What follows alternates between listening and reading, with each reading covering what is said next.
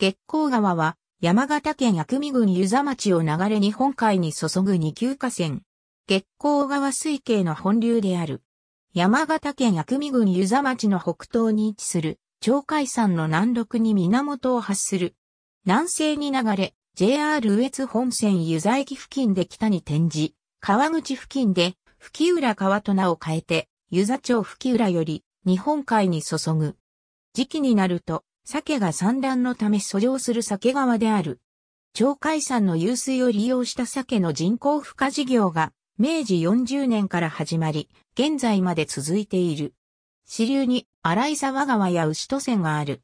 昭和53年上流に洪水調節と防災を目的として有効貯水量167万トンの月光川ダムが建設された。東北地方では、宮古市の津軽石川と並んで、秋になると大量の鮭が遡上する川として知られている。月光の名称は、薬師如来の脇地の一つの月光菩薩に由来する。中世以来、本寺水弱の思想によって、鳥海山の祭神は、鳥海山大権現、本寺は薬師如来、水弱は大物意味神とされた。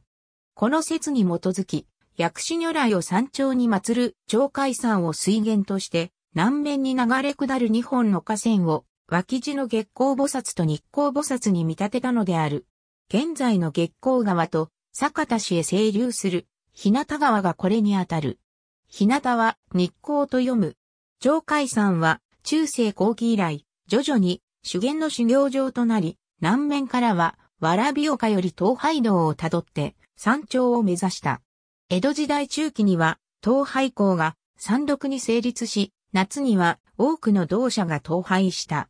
根拠地であったわらび丘は33坊を要し、四道寺を学頭とした。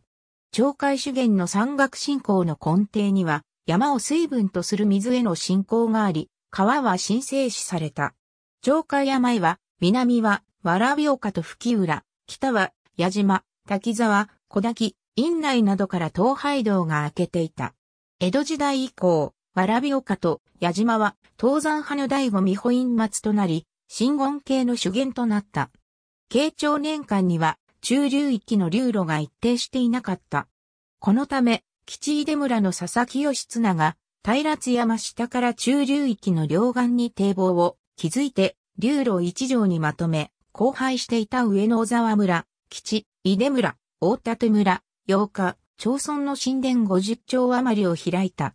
最上市の領地であった時代、月光川と日向川を結ぶため、庄内砂丘と並行するように、全長 7km の西通り川が掘られた。湯座里の年貢米を酒田蔵に運搬するために掘られた運河と伝えられ、江戸時代には船通り川と呼ばれていた。文化文政年間には漆曽根村、上越村、宮田村と下流菅野村付近の蛇行する川筋を改修した。また、下流部は蛇行しながら、美濃は新田村を経て屈曲し日本海へ注いでいたため、吹浦、北目地域が洪水に悩まされていた。このため、文化4年から翌5年にかけて、水はけを良くするための新川掘割工事が行われている。この工事の際、妊婦一人につき込め一生五号が省内藩より支給された。